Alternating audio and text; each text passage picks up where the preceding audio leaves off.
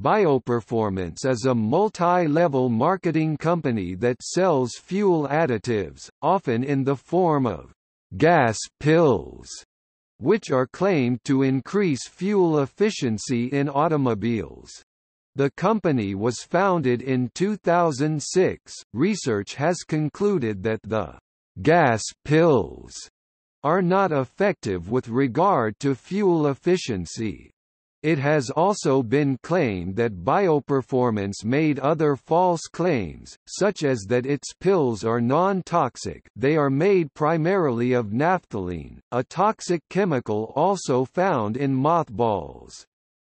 The company was temporarily shut down on May 17, 2006 by the Texas Attorney General for being an alleged pyramid scheme and also because of the company's alleged false advertising claims. It has been asserted by former Bioperformance representatives now speaking out against Bioperformance that the company appears to have taken early precautionary measures to avoid refunds on the gas pill. The company accepted money order payments or check payments through postal mail. Multi-level marketing companies selling faulty products have been known to not accept credit card payments due to charge-backs from unsatisfied customers, which in turn create accrued charge-back fees for the company. As of May 2007, the company still does not take credit cards and is still selling a naphthalene-based product.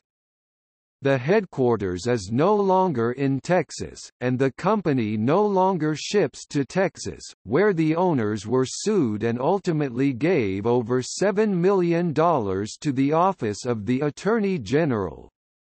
Nor did they issue refunds or ship over 10,000 cases of product, although complaints arrived from all over the nation. To date, over $6.5 million in refund requests have been processed by the Texas Attorney General's office. Notes